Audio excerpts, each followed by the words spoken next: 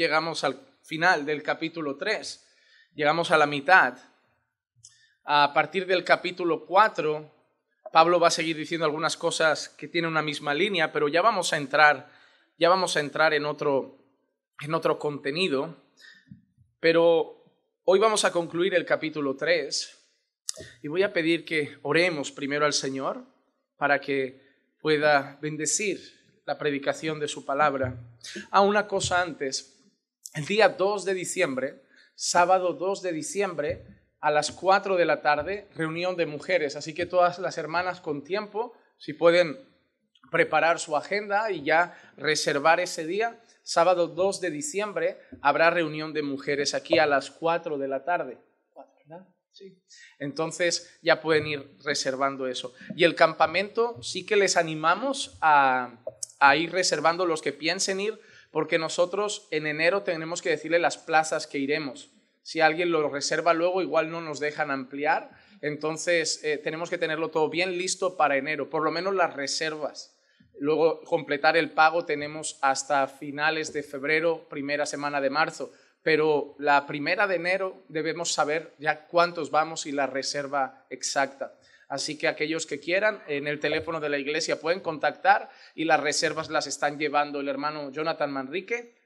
Sabrán por la librería sabrán están Tony y él y junto a su hermana su hermana perdón bueno su hermana y su esposa las dos cosas. Lo bueno de estar casados en Cristo es que somos esposos y hermanos. Así que junto a su esposa también está haciendo las reservas. Vamos entonces a orar y pedir que el Señor nos hable Señor te damos muchísimas gracias por la oportunidad que nos has dado de poder cantarte alabanzas. Señor, vamos a estar toda la eternidad adorándote, en una eternidad gloriosa donde no hay no hay maldad, no hay dolor, no hay injusticia, no hay muerte, no hay enfermedad. Señor, vivimos en un mundo caótico, lleno de odio, de muerte, de sangre, de enfermedades que hacen sufrir a las personas que las padecen, pero nos espera una eternidad sin nada de eso, solo gozo, alegría, paz y justicia por siempre. Y estaremos allí aquellos que estemos en Cristo, Señor. Por eso te ruego que uses a tu iglesia para seguir proclamando tu evangelio y que cada día más personas estén en Cristo. Señor, hoy prepara nuestro corazón para entender las verdades de tu palabra. Tu palabra es poderosa. Es espada que puede penetrar hasta lo más profundo de nuestro corazón tu palabra es viva y eficaz. Por eso sé que nunca vuelve vacía. Así que te ruego, Señor, que hables a cada uno de los que están aquí conforme a tu propósito. Que toques corazones, que conmuevas a tu pueblo y que nos lleves a darte más la gloria. Te lo pido en el nombre de Jesús. Amén y amén.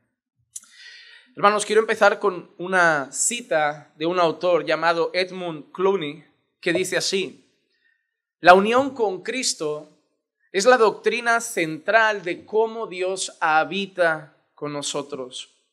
Esa unión es obra del Espíritu Santo, enviado desde el trono de Cristo en gloria.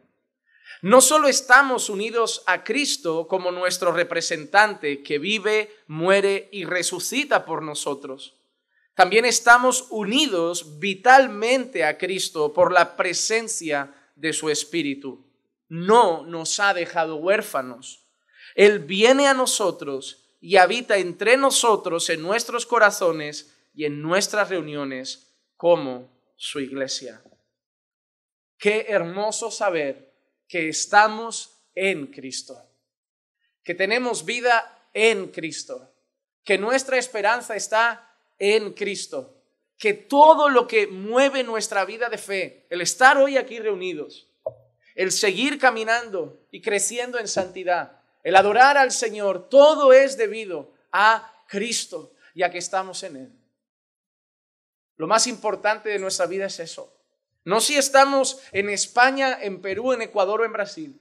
No si estamos en una empresa reconocida o una menos conocida. No si estamos en un alto cargo o si estamos en un puesto más modesto en una empresa. No si estamos entre los que se consideran ricos de nuestra sociedad o entre los que se consideran clase media o entre los que se consideran clase baja. Lo más importante en nuestra vida es si estamos en Cristo. Esa es la pregunta que marcará toda la eternidad.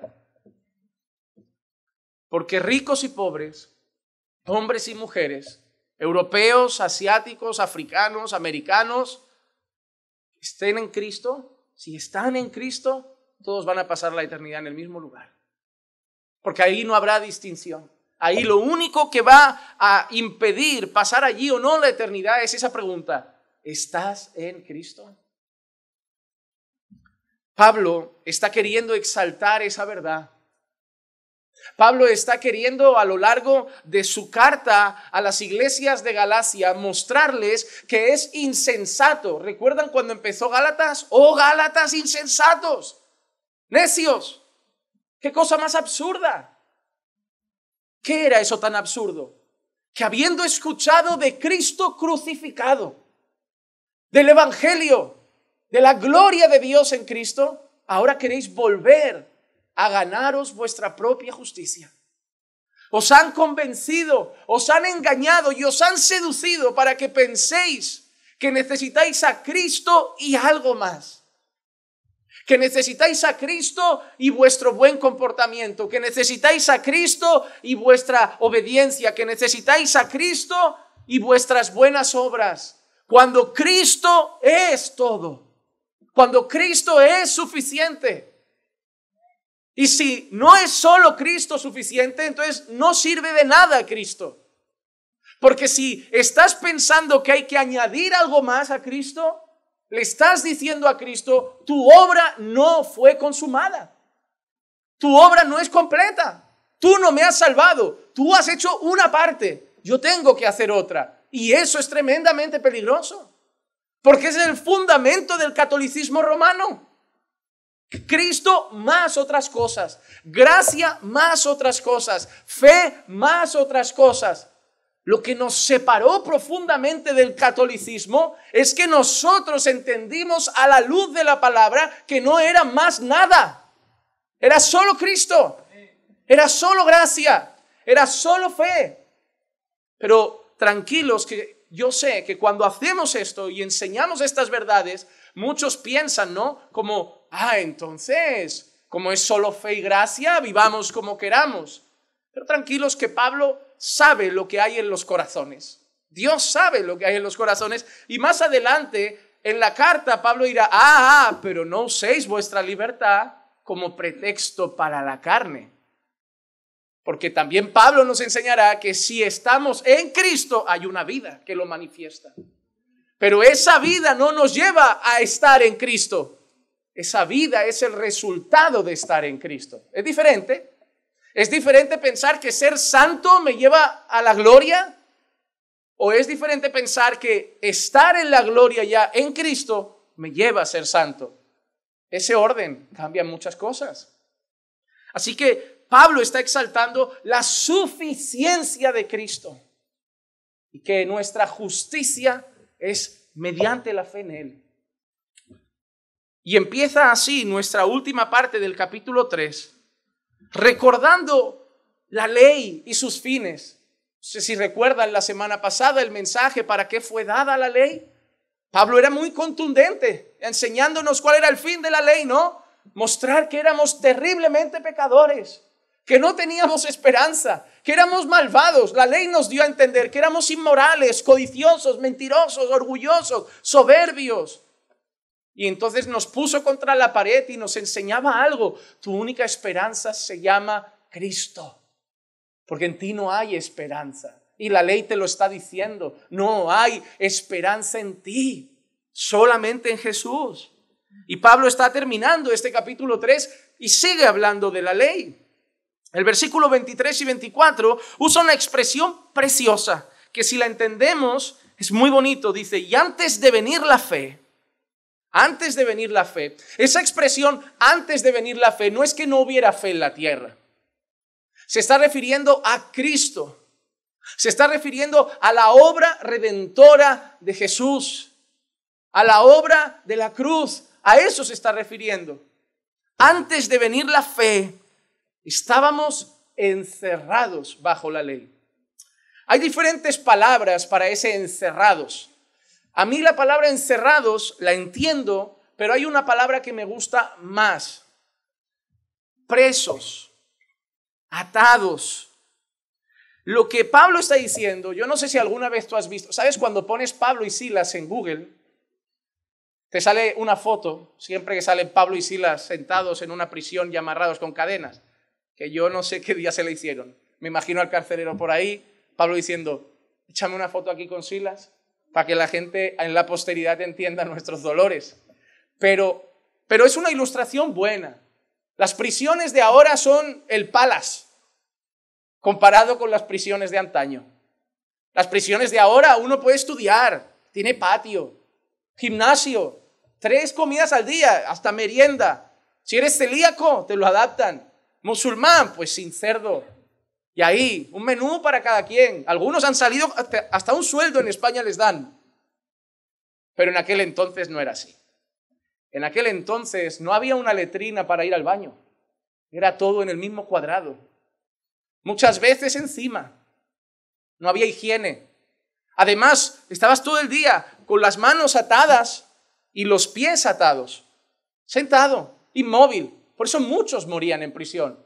Morían de enfermedades, morían de, un virus, morían de infecciones, morían de esas cosas, de humedad, porque eso era húmedo. Ahora no, ahora salen mejor de lo que entraron. Pero lo que está diciendo Pablo es eso, que así estábamos nosotros con la ley. Presos, presos, confinados para la fe que había de ser revelada.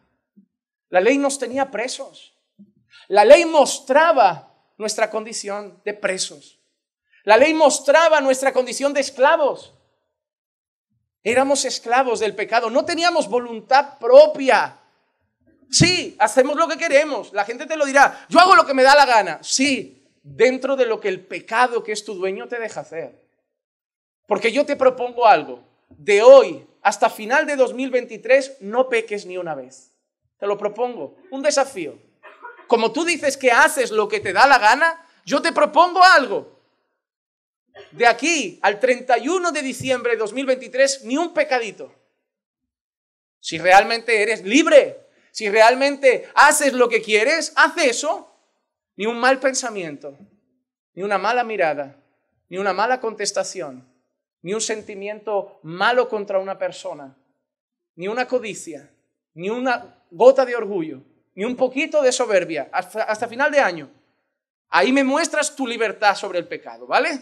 No vais a poder, porque la ley nos muestra que nuestra condición es presos, encarcelados, y nuestra única esperanza era la fe que había de ser revelada, Cristo y su obra. No había otra, no podemos quitarnos las cadenas. No podemos desamarrarnos la, la, cadena que tenemos. No tenemos la llave, no tenemos el poder. Cristo, la fe que tenía que ser revelada, vino a romper las cadenas. A traer libertad de las cadenas. Nosotros no podemos, ningún preso se las quita. Tiene que venir alguien a hacerlo libre la fe que había de ser revelada. Y dice, de manera que la ley ha venido a ser nuestro ayo para conducirnos a Cristo.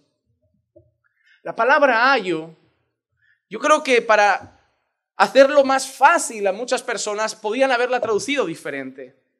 La palabra ayo viene de una palabra griega de la que viene una palabra que le sonará más, pedagogía, pedagogo, alguien que enseña. La palabra ayo era una persona, una persona en aquel tiempo.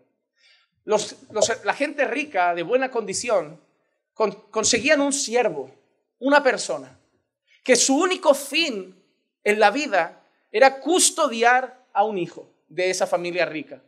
Lo criaban, lo educaban, le enseñaban, le enseñaban valores y lo custodiaban para que no se metiera en problemas, para que no se metiera en líos lo guardaban hasta que el hijo ya fuera mayor y ya no necesitara ese ayo.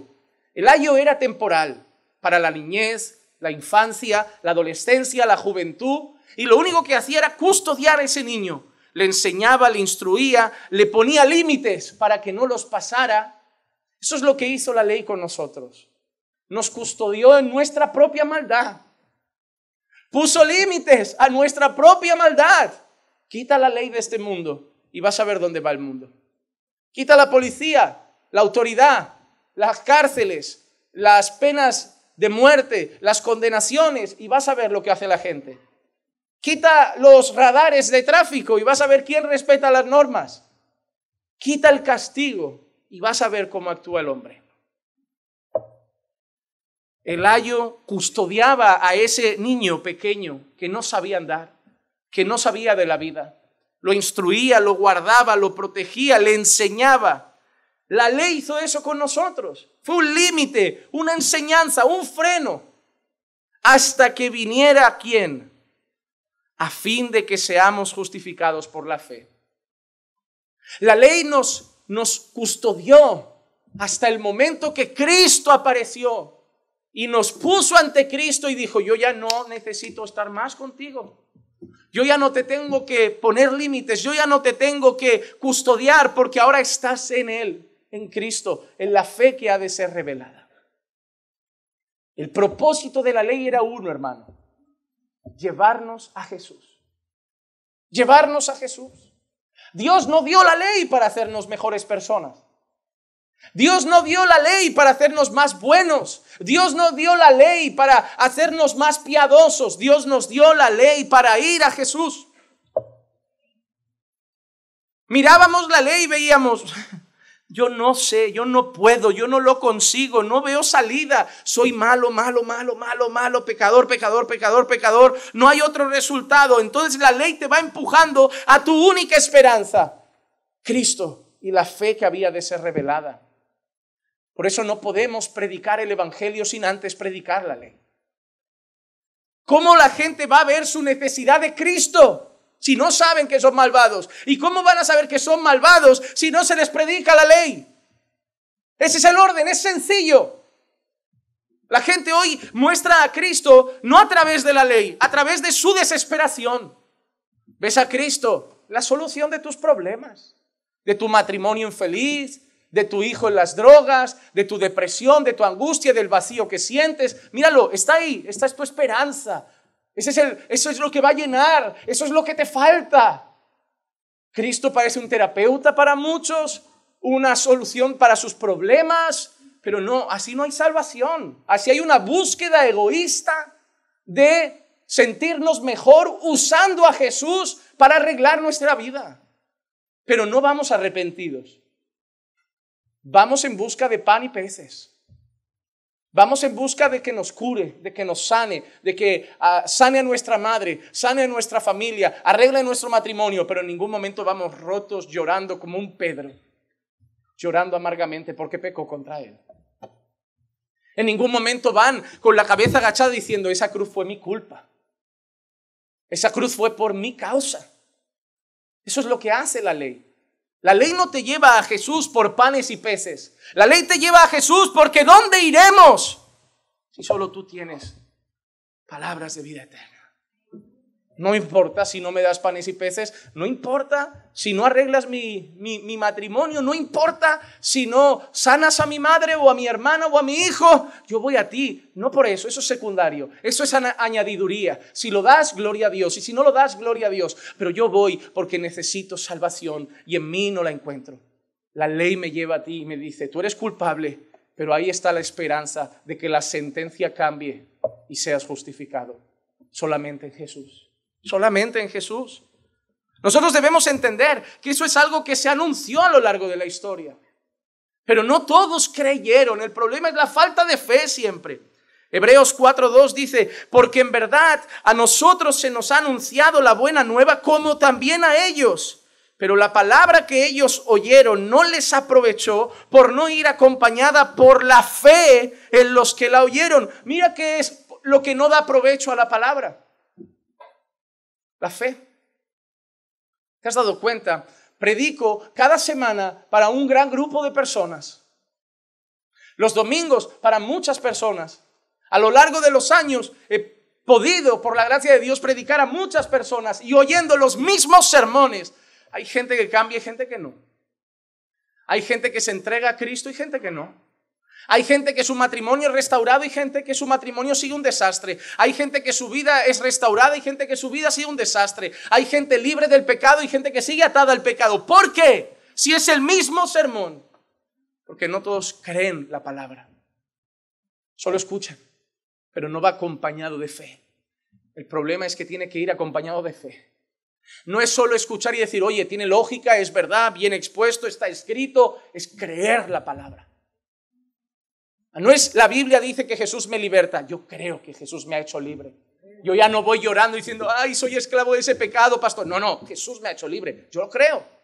Yo lo creo. Yo no voy a creerme esa mentira de la carne, esa mentira de Satanás. Yo creo en la palabra. Va acompañado de fe.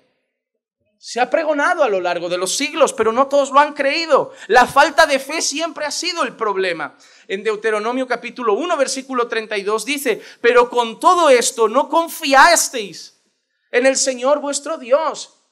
La falta de fe no es un problema ahora, la falta de fe ha sido un problema siempre. El pueblo de Dios vio maná, vio el mar abrirse, vio, vio maravillas, prodigios que tú y yo ni hemos visto, vio cosas admirables. Vieron las plagas. Y les duró un tiempo porque no tenían fe, porque no confiaban en el Señor.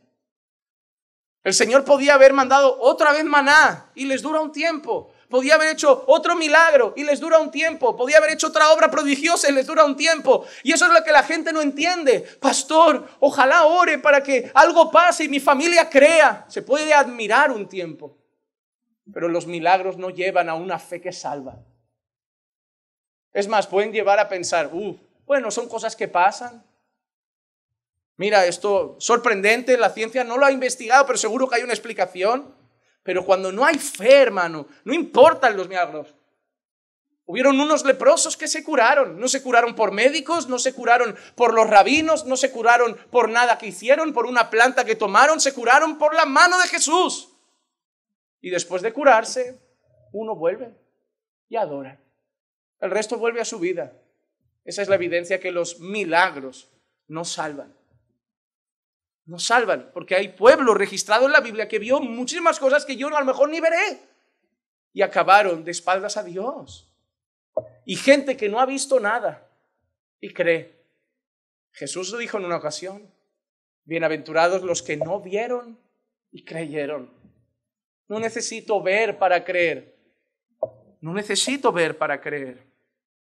El problema del pueblo siempre ha sido su confianza propia. Deuteronomio 8:17, no sea que digas en tu corazón, mi poder y la fuerza de mi mano me han producido esta riqueza.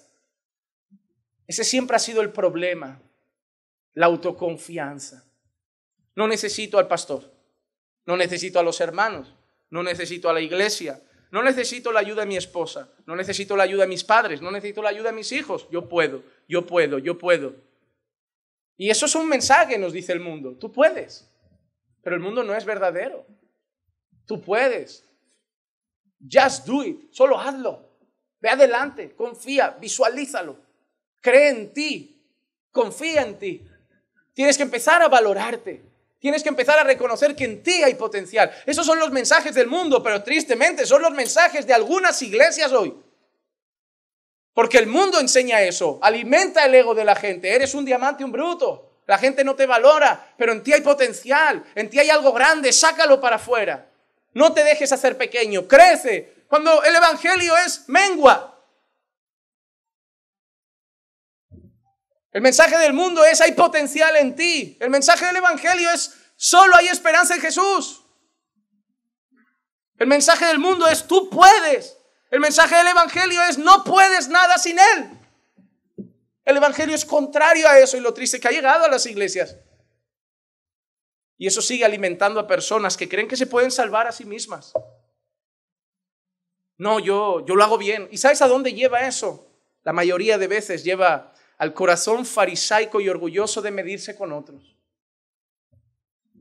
Yo, yo sí llegaría al cielo porque, porque mi pelo es mejor, mi familia es mejor, mi matrimonio es mejor, mi ropa es mejor. Entonces yo, yo tengo una mesa privilegiada, la mesa VIP.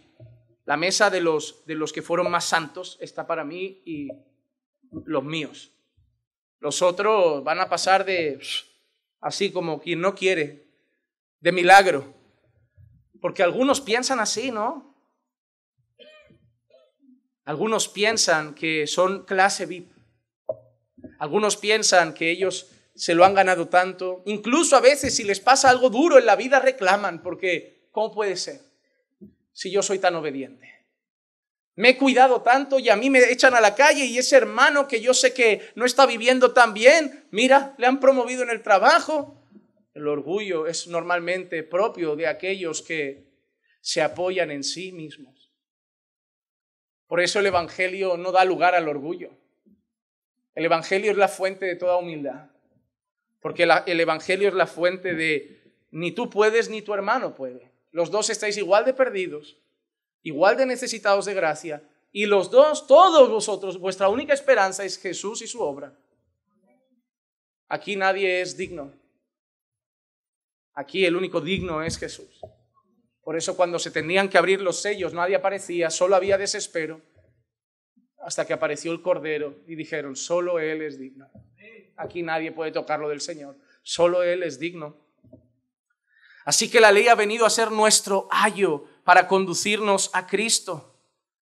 La ley nos dejó viendo una situación trágica en nuestra vida, como Romanos 3:20 dice, porque por las obras de la ley ningún ser humano será justificado delante de él, ninguno.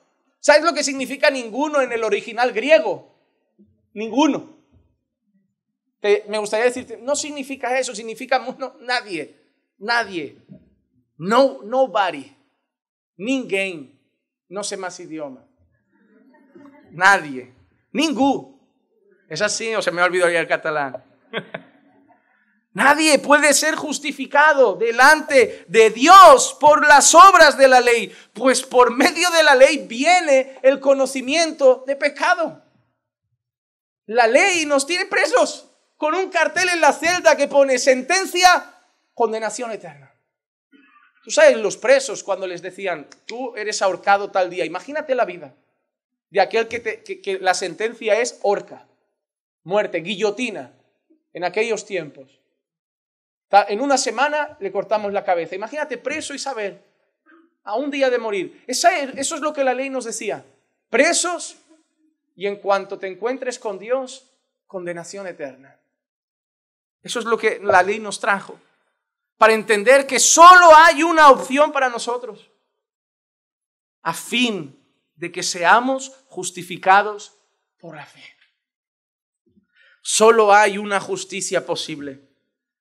Pablo en Romanos 10, versículos 3 y 4, decía eso de sus compatriotas, pues desconociendo la justicia de Dios y procurando establecer la suya propia, no se sometieron a la justicia de Dios, porque Cristo es el fin de la ley para justicia a todo aquel que se porta bien. Ah, no, no, a todo aquel que cree. Porque nadie se porta bien. Porque nadie, si lo pones delante de la vara de medir de Dios, sale inocente. Pero Pablo habla de sus antiguos compatriotas, sus compañeros israelitas, sus, compatriotas del barrio, del pueblo, con los que había estudiado en la sinagoga, eh, en el templo, con los que había compartido rabino con los que habían sido alumnos con él a los pies de Gamaliel, y Pablo los mira y dice, qué pena, porque sé que tienen celo, sé que quieren lo mejor, quieren agradar a Dios, quieren, quieren portarse súper bien, cumplir cada mandamiento, pero se les ha olvidado una cosa, que su justicia no vale, es insuficiente, no es perfecta. Esa era la pena de Pablo por sus compatriotas que buscan establecer su propia justicia. Por eso habrán algunos que cuando estén delante del Señor reclamarán. Escuché a un gran pastor decir una vez, cuando la Biblia habla del infierno da dos indicaciones, habrá lloro y crujir de dientes. Él lo expresa de una manera muy bonita. Dice, por un lado habrá lloro, personas que estarán sufriendo y sabrán que están ahí porque lo merecen y llorarán y llorarán y llorarán de terrible dolor y condenación. Pero habrá crujir de dientes. Esa expresión, él dice, que representa un enfado enorme. Cuando estamos así, con rabia, y es porque habrán otros que estarán con rabia de Dios por haberlos castigado. Porque habrán algunos que habrán odiado a Dios siempre, pero habrán otros que se habrán creído que merecían el cielo y odiarán a Dios por haberlos condenado. ¿Cómo puedo estar yo aquí y aquel sinvergüenza allí que yo sé que de vez en cuando pegaba un patinazo? Pero tú te querías ganar esto, eh, la, gloria, y él era como aquel publicano que me decía siempre, ay de mí, no soy digno, no hay esperanza en mí. Y tú eras como el otro que decía, yo ayuno, yo oro, yo esto, yo aquello, yo falto un culto. Tú no podías justificarte a ti mismo y tú pensabas que sí. Por eso muchos estarán con odio.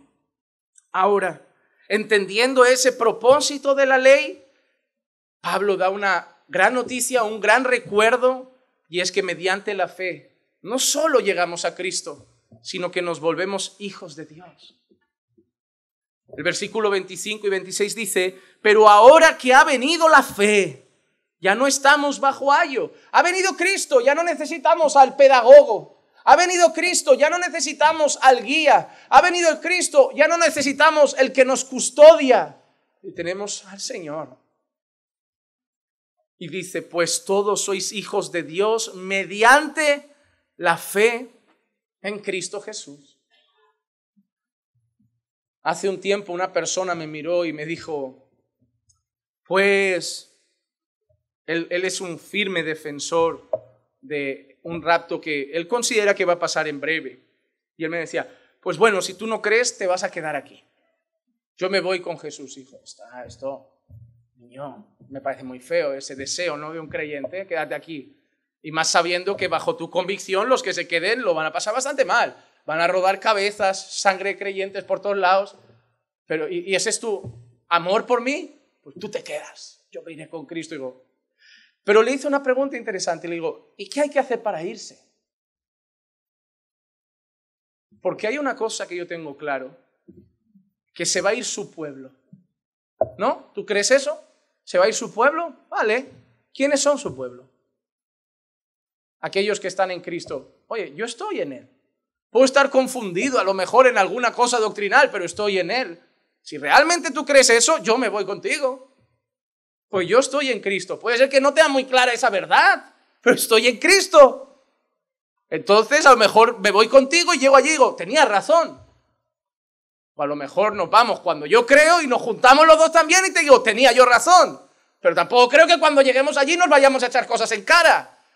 Porque no me imagino el cielo entre creyentes. Yo tenía razón, tú tenías razón. Eh, eh, yo creo en esto, tú no, mira, y estamos aquí, ¿eh? hemos pasado los siete años y yo no creo que ese sea. Y el Señor mirándonos como diciendo, para abajo otra vez.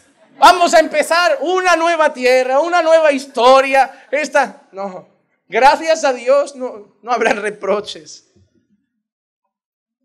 Pero nadie llegará a la gloria ni al Señor por su perfección teológica. Nadie se vuelve hijo de Dios porque sepa cada coma y cada punto de las doctrinas. La doctrina es importante. Y hay doctrinas que si las negamos no hay esperanza. Aquellos que niegan que Jesús es Dios. Pero hay doctrinas que son grises en cuanto a nuestra capacidad de comprenderlas, difíciles. Pero no depende la salvación de esa comprensión, de esa doctrina. Porque aquellos que creen en Él, se les ha dado potestad de ser hechos hijos de Dios. Soy un firme defensor de la buena doctrina. Soy un firme estudioso de las escrituras. Dentro de mi capacidad de reconocer que soy limitado. También es limitado Sugel, MacArthur, Jonathan Edwards, lo era Spurgeon. No hay un teólogo perfecto. No lo hay. Todos somos hombres que se esfuerzan por intentar enseñar las verdades bíblicas a su congregación, con celo. Pero gracias a Dios que no se van a ir con Cristo aquellos que tengan la 100% perfecta teología. Sí, los que tengan el fundamento del Evangelio, la fe en el Señor Jesús el fundamento de nuestra fe en Cristo, en el Padre, en el Espíritu Santo. Sí, hay, hay verdades fundamentales. Pero Pablo dice, que somos hijos de Dios mediante la fe en Cristo Jesús. Siempre ha sido fe, hermano. Eso es lo que Pablo está diciendo. Os están diciendo que hay que volver a la ley, volver a la Torá, que la Torá es imprescindible para salvarse, pero yo os digo que Cristo es suficiente, porque siempre ha sido cuestión de fe. Gálatas 3:6 dice, así Abraham creyó y le fue contado como justicia. Él apunta a Abraham, nuestro padre, el padre de la fe, el padre de los creyentes. En ti serán benditas todas las naciones de la tierra. Y les dice, ni, ni, ni Torah ni Abraham. Fue fe desde el principio. Abraham creyó. Dios siempre ha tenido un pueblo marcado por la fe y la confianza en Dios. Obviamente, y lo veremos luego, ese pueblo se santifica, busca obedecer al Señor, pero la esencia que es el pueblo de la fe. El pueblo de la fe. En Romanos 11:4, Pablo habla de un tiempo muy oscuro para el pueblo de Dios, pero dice, pero ¿qué le dice la respuesta divina? me he reservado siete mil hombres que no han doblado la rodilla a Baal. En un tiempo donde el pueblo había decidido postrarse ante la idolatría, en un pueblo, en un tiempo donde el pueblo de Dios había decidido rendirse a un culto pagano, un Dios pagano, Dios tenía un pueblo, un remanente, siete mil, que no creyeron en Baal, que no doblaron sus rodillas. En un tiempo donde todos se postraron ante la estatua de Nabucodonosor, Dios tenía tres, cuatro que no se postraron ante Babilonia. En un mundo que está postrado ante sus ideologías y cosas, Dios tiene un pueblo, un remanente. Dios siempre ha tenido un remanente que no ha creído en el mundo, ni en la voz del mundo, en la voz de la serpiente, ha creído en Dios, en su palabra, en Cristo y el Evangelio. Somos el pueblo de la fe. Y esa fe no la tenemos por nuestros padres, ni por nuestra cultura. La fe es un regalo de Dios por gracia. En 2 Corintios 4, 6, Pablo dice, pues Dios que dijo que de las tinieblas resplandeciera la luz, si ha venido la luz es porque Dios lo ha dicho. ¿Cómo, cómo creó Dios? Haya luz. ¿Sabes cómo salva Dios? Haya luz. Así como el mundo en tinieblas necesitó la palabra de Dios diciendo, haya luz, nosotros cuando estábamos en tinieblas necesitábamos que Dios dijera a nuestro corazón, haya luz, haya luz. Estaba todo desordenado y vacío. Haya luz. Yo voy a poner las cosas en orden también ahí. Yo hice un mundo nuevo de la nada y voy a hacer un mundo nuevo en ti. Haya luz. Es obra de Dios. Es el que ha resplandecido en nuestros corazones. Hermano, no le puedes meter la, la, Biblia a tu familia a martillazos en el corazón. Hay mucha gente que pelea contra su familia, pero no ora por su familia. Dobla mucho rodillas por ellos y dile, Dios, que resplandezca tu luz. Yo no puedo encender ese interruptor. Yo no llego. No llego, Señor. Yo no llego al corazón de mamá, al corazón de papá, al corazón de mis hijos, de mi esposo, de mi esposa. No llego, Señor. Pero tampoco llegaba al mío y tú encendiste la luz. Enciende la luz, Señor. Tenemos que orar por los perdidos. Predicar, sí. Dios le ha placido salvar por la locura de la predicación. Pero no podemos olvidar orar por ellos. Porque no podemos en la fuerza de nuestro brazo. No es por fuerza ni por violencia. Es por su espíritu. Necesitamos la poderosa obra de Dios alumbrando el corazón como hizo en nosotros. Es el que ha resplandecido en nuestros corazones para iluminación del conocimiento de la gloria de Dios en la faz de Cristo.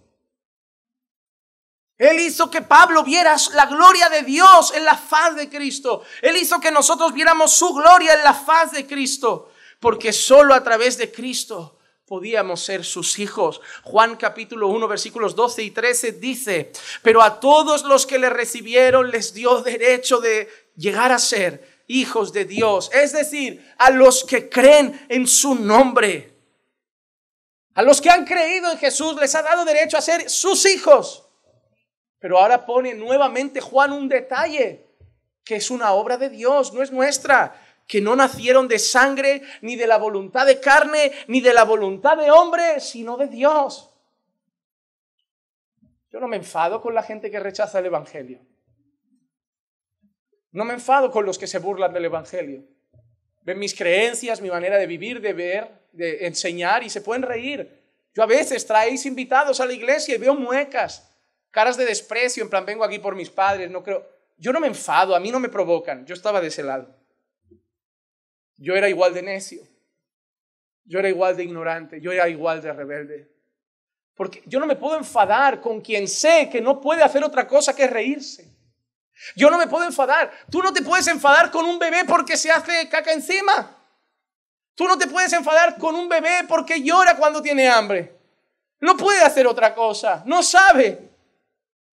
Yo no me puedo enfadar si mi perro ladra. Es un perro. Yo no me puedo enfadar si la lluvia me moja. No me puedo enfadar si un pecador se revela. No me puedo enfadar si un pecador rechaza a Jesús. No me puedo enfadar si un pecador se burla de mi predicación. Porque no puede hacer otra cosa. A no ser que Dios traiga luz. Porque no lo puedo hacer yo, ni tú, ni el que lo trajo, ni el que lo invitó. Pastor, traigo un invitado, hable con él. Que no es que yo lo vaya a hacer mejor y entonces crea. Pastor, he traído a alguien, ah, quiero que se reúna con él y le hable. Que no va a ser mi palabra quien la convenza. Vamos a tener un debate quizá más profundo que el que tenga contigo. Y puede ser que yo tenga más argumentos, pero aunque le dé tantos argumentos que no pueda ni contestar, no va a creer. No es llevarle al predicador más listo y al teólogo más preparado a ver si lo deja contra la pared y dice, ay, no me queda otra, me rindo. Hubo una vez un alto dirigente que le dijo a Pablo, por poco me persuades, casi me lías, ¿eh? Pero ese casi significa, tus argumentos eran buenos, pero aquí no hubo fe. Casi, se quedó en un casi. Uy, pastor, con todo lo que le ha dicho, casi, casi sí le faltó creer. Y eso nosotros no podemos hacerlo. Solo Dios. No es voluntad de hombre ni de carne.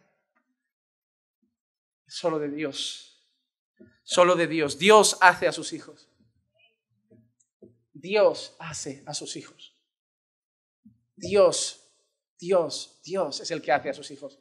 Dios es el que elige y redime a su pueblo. Nosotros no fabricamos hijos de Dios.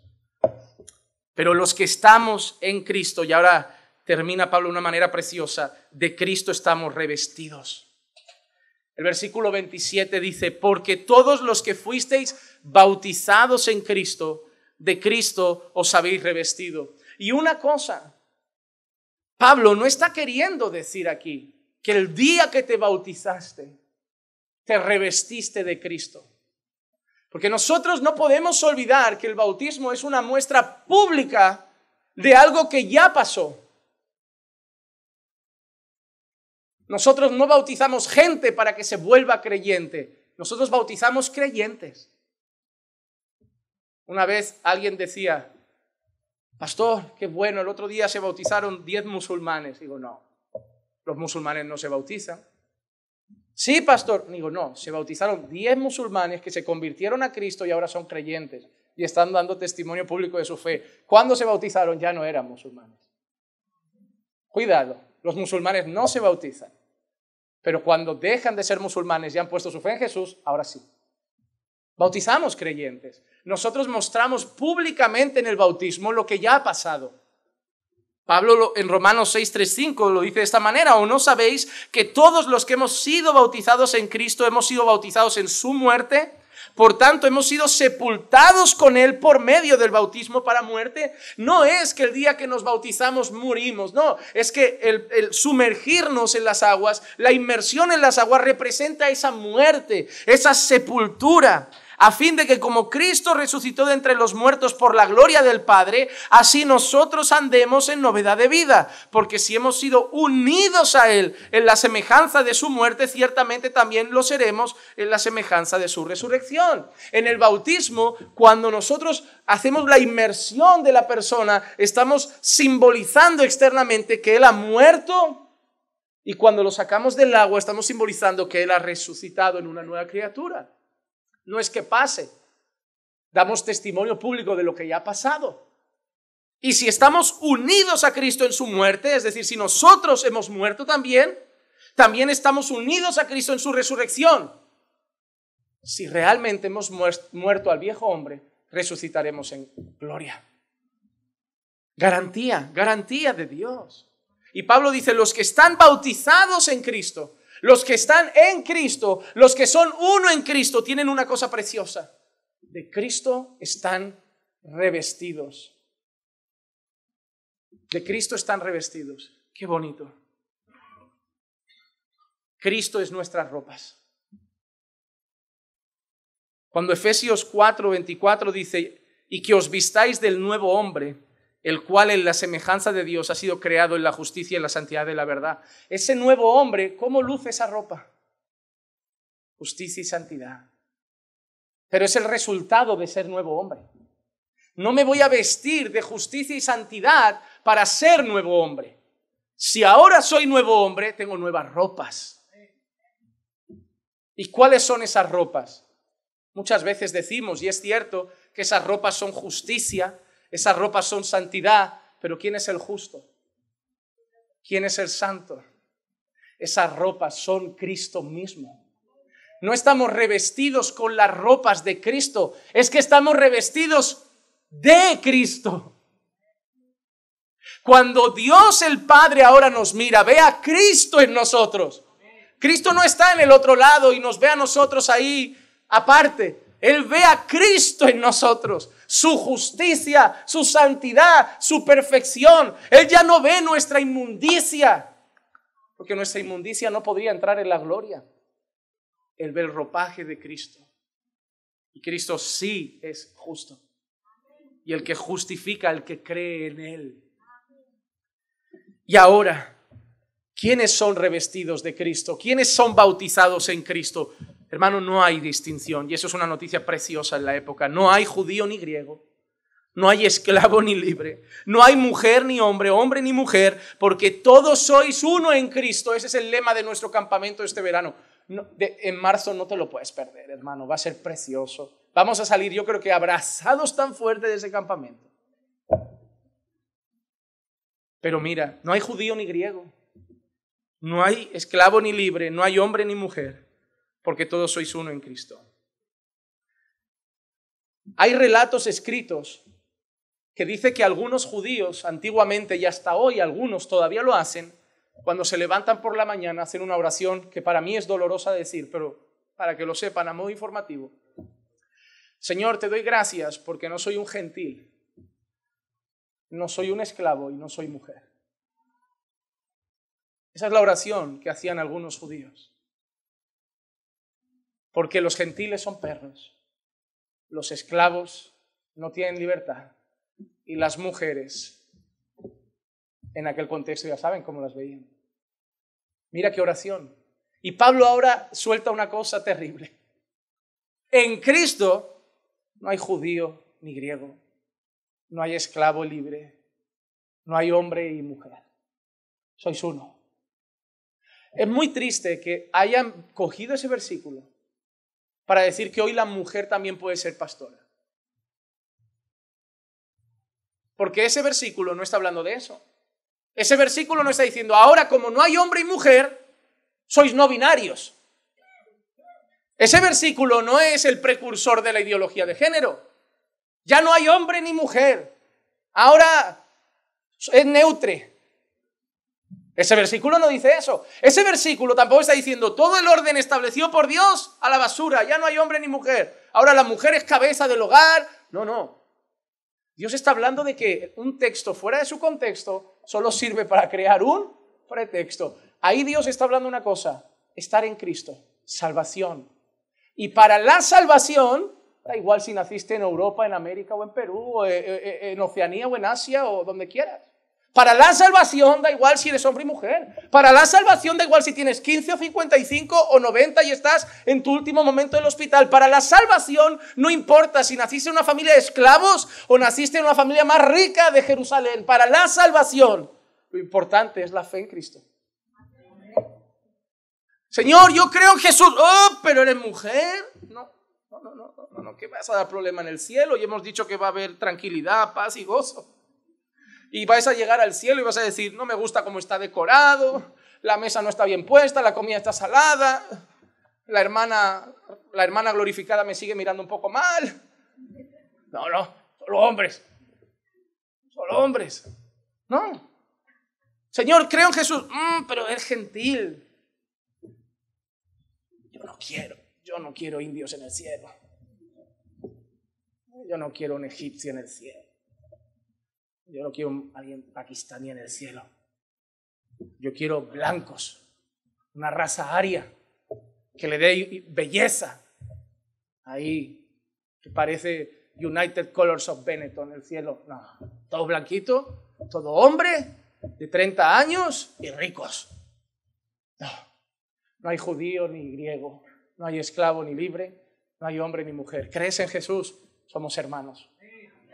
La belleza del Evangelio en un mundo donde la gente sale y dice, los ecuatorianos son, no te fíes de los bolivianos, los españoles, tela de racistas, los europeos, tela de vagos, los catalanes, tela de tacaños, los peruanos, tela de traicioneros, los colombianos, tela de tramposos. Aquí son hermanos. Aquí no hay bandera. Y la cultura nuestra queda a la basura y es estiércol porque ahora tenemos la cultura de la palabra. En un mundo donde vas a un restaurante y los ricos tienen sus restaurantes, estrella Michelin, ahí no entramos. Y luego está eh, el chonero, donde van los pobres a gastarse 15 euros en un plato que si pueden comer cuatro lo aprovechan. uno. En esta sala hay gente que vive en una habitación y gente que tiene su casa ya pagada. En esta sala hay gente que tiene que venir en autobús y gente que tiene un buen coche. En esta sala hay gente que tiene una empresa y hay gente que es empleado por horas. En esta sala hay gerentes y limpiadoras. En esta sala hay españoles, hay ecuatorianos, rusos, rumanos, bolivianos, brasileños, porque en esta sala somos uno en Cristo. Lo más hermoso del Evangelio es esto, Dime qué lugares en este mundo donde es Israel contra Palestina, Rusia contra Ucrania, este contra aquel. Dime un lugar donde veas esto. Que no sea la iglesia. No hay otro. Esto no pasa en otro sitio. Esto solo lo puede hacer Dios. Esto solo lo puede hacer Dios. Porque posiblemente si Dios no lo hubiera hecho, tú y yo no estaríamos hoy aquí juntos. Ni nos abrazaríamos en la entrada. Ni habríamos tenido mucho contacto. Barrios diferentes, ambientes diferentes, culturas diferentes pero estamos aquí. Amamos comer juntos, desayunar juntos, pasear juntos, compartir juntos, adorar juntos, porque aquí somos uno en Cristo. Qué hermoso. Un pueblo de toda lengua, tribu y nación. Que lo único que importa no es si son judíos o griegos, esclavos o libres, hombres o mujeres. Lo único que importa es que tú y yo hay una cosa que nos une, que hemos puesto nuestra fe en Cristo Jesús judíos y gentiles. Pablo le dice en Efesios 2, 18, 19, porque por medio de él los unos y los otros tenemos nuestra entrada al Padre en un mismo espíritu. Así pues, ya no sois extraños ni extranjeros, sino que sois conciudadanos de los santos y sois de la familia de Dios. Sois de la familia de Dios, hombres y mujeres. Mira lo que dice Pedro en primera de Pedro 3:7 y vosotros maridos igualmente convivid de manera comprensiva con vuestras mujeres como con un vaso más frágil, puesto que es mujer. Y mira que dice, dándole honor como a coheredera de la gracia de la vida. Es tan creyente como tú, marido, es tan hija de Dios como tú, para que vuestras oraciones no sean estorbadas.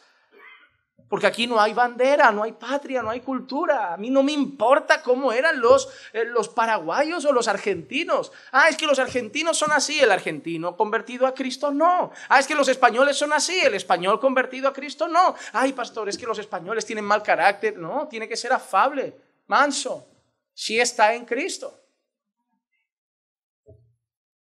A mí no me vengas a decir, es que yo soy así. No, eras. Somos nuevos somos nuevos. A mí no me importa. Yo ya lo he dicho siempre, soy la persona menos patriota del mundo. Y me llevo bastante mal, me cuesta, me cuesta. Tengo que orar para soportar a los que son tan patriotas.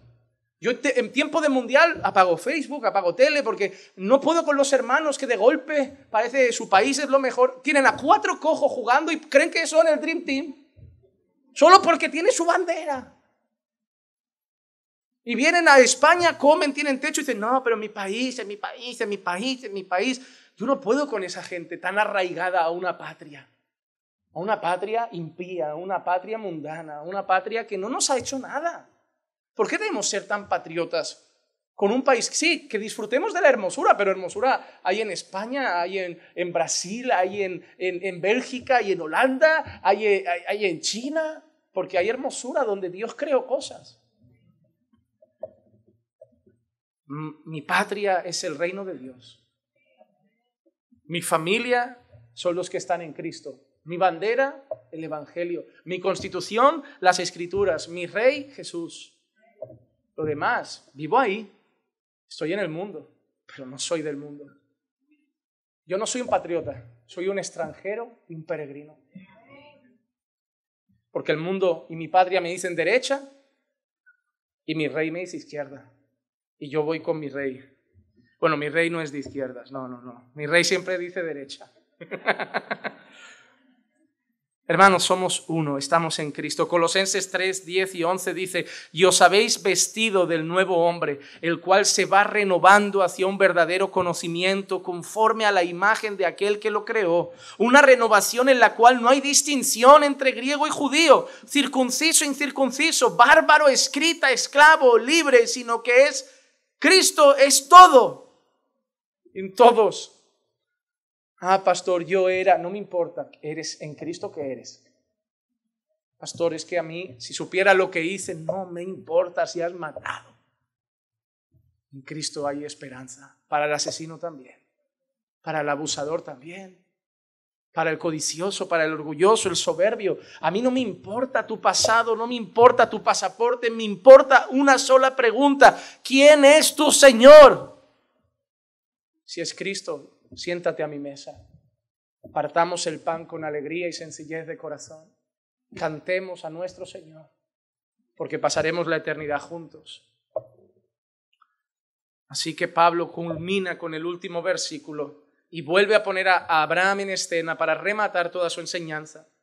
Y si sois de Cristo, entonces sois descendencia de Abraham. Mira lo que dice. No dice si sois de un pueblo geográfico. No dice si sois de una nación geográfica. No dice si sois de un, de un país. Si sois de Cristo, entonces sois descendencia de Abraham y herederos según la promesa. Lo que te hace descendencia de Abraham es solo una cosa. Cristo. Por eso Jesús le dijo a unos israelitas, religiosos, fariseos, le dijo, si Abraham fuese vuestro padre, me escucharíais. Pero sois del diablo Ahora ve tú a una nación como esa. Vete a Israel un rato y dile a un judío ortodoxo en la cara, si Abraham fuera tu padre. Ya vas, vas a correr más que Usain Bolt.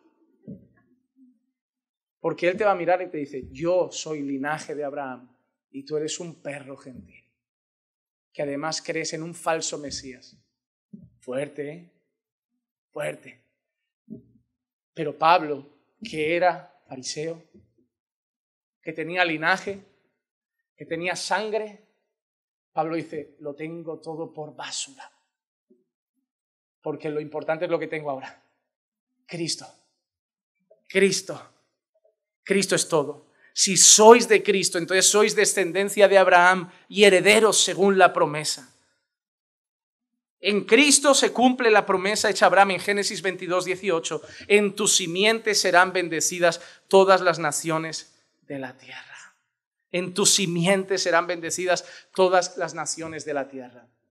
Si tú estás en Cristo, Cristo, Pablo dijo que es la descendencia. ¿Recuerdan? Pablo dice, no dice descendencias, dice descendencia. No es simientes, es simiente. Si estás en Cristo, estás en esa bendición de Dios Abraham. Amado hermano, llegamos al fin del capítulo 3 y yo solo tengo una cosa que decir. Cada día me enamoro más de Jesús. Cada día me miro más en el espejo y solo encuentro fallas. Solo.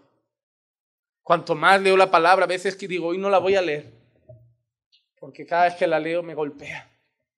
Hasta hoy la abro, la estudio, la leo, digo, yo no, yo no, yo no cumplo, yo no llego. Me esfuerzo, lucho, pero no llego. Me miro en el espejo y digo, no, no, no alcanzas, no das la talla. Pero me enamoro cada día más de Jesús porque cuando me miro en el espejo digo, ay, pero lo hermoso es que Dios no me ve a mí, que vea a Jesús en mí. Y hermano, cada día recuerdo cuánto he sido perdonado. Quiero darle más de mi vida. Yo, yo no, a mí no me cuesta congregar porque Él merece que yo congregara todos los días. No me cuesta leer la palabra porque Él merece que la lea todos los días. No me cuesta, no me cuesta hablar con Él un rato porque Él merece que hable con Él todo el día. No me cuesta cantarle. ¿Cómo me va a costar cantarle con todo lo que ha hecho? Él me ha perdonado mucho y yo lo quiero amar más. No lo amo lo suficiente para lo mucho que me ha perdonado. Yo reconozco, como hemos cantado, que mis faltas son muchas, pero su gracia es inmensa. Yo escucho estas cosas y yo veo más allá de teología. Yo veo a mi Salvador, a mi Señor y mis deseos. Y mi deseo es darle más cada día. Iglesia, que saber esto, que saber todo lo que tienes por gracia, te lleve a darte más a tu Señor. Cuando te dé pereza buscar al Señor, recuerda todo lo que el Señor te dio. Él no tuvo pereza en ir a la cruz. Él no tuvo pereza en subir al madero, en, que ser clavado, en recibir latigazos. Él no tuvo pereza. Tú no puedes tener pereza en congregar, en orar, en leer la palabra. No, porque Él no tuvo pereza en salvarte. Él merece mucho. Él te ha perdonado mucho. Iglesia, sal hoy de aquí enamorado de Jesús. Pero también sé que hay gente aquí que no es iglesia. Invitados, amigos, Nunca penséis que nosotros nos creemos mejor que vosotros. Nunca penséis, mira, estos, los religiosos se creen más buenos. No, no, no. Si precisamente nosotros reconocemos cada día que somos malos. Reconocemos cada día que somos débiles. Reconocemos cada día que somos pequeños. Y cada día reconocemos que estamos de pie porque el Señor sigue renovando su misericordia cada mañana y sin ningún tipo de rabia ni obligación, yo solo te quiero dar el mejor consejo que te puede dar alguien en la vida. Reconoce que tú también eres malo, miserable y pecador. Y que no tienes esperanza. Que el día del juicio la sentencia es culpable, como lo era para nosotros. Pero si hoy dices, me arrepiento, me arrepiento de ser quien soy, me arrepiento de toda mi maldad, me arrepiento de todos mis pecados. Y hoy decides decir, Jesús, solo tú eres mi esperanza, lo que tú hiciste, pagar el precio por mis pecados. Si tú pones hoy tu fe en Él y decides cambiar el rumbo de tu vida en vez de correr para atrás de Él, correr hacia Él todos los días, serás salvo. Y puedes haber sido la peor persona del mundo y decir, yo no lo merezco, nosotros tampoco, pero recibirás gloria si hoy te arrepientes de tus pecados y crees en el Señor Jesucristo, serás bendecido como nosotros, iglesia como nosotros, revestido de Cristo como nosotros. Así que aquellos que no estáis en Cristo, hoy es día de arrepentiros y creer en Él. El Señor no rechaza un corazón contrito y humillado. Vuelve, arrodíllate delante del que te hizo y que te creó, porque si has nacido es por su voluntad y solo dile, he pecado contra ti, me arrepiento, quiero vivir para ti ahora. Que el Señor dé fruto en los corazones. Señor, te damos gracias por tu palabra y por este mensaje que has traído a nuestro corazón. Gracias por exaltar a Cristo. Gracias, Señor, por mostrarnos con claridad que nuestra única esperanza es Jesús. Y llévanos, Padre amado, llévanos, condúcenos a obedecerte en gratitud por la salvación y la gracia recibida. Y danos fe, Señor, cada día más para seguir creyendo firmemente tus promesas. Y da fe a aquellos que hoy no creen, Señor, para que pongan su fe en Cristo y sean hijos tuyos. Salva, restaura, edifica, instruye, fortalece, consuela, anima. Obra, Señor, en cada quien conforme a tu voluntad. Te lo pido en el nombre de Jesús. Amén, amén y amén. La librería se ha...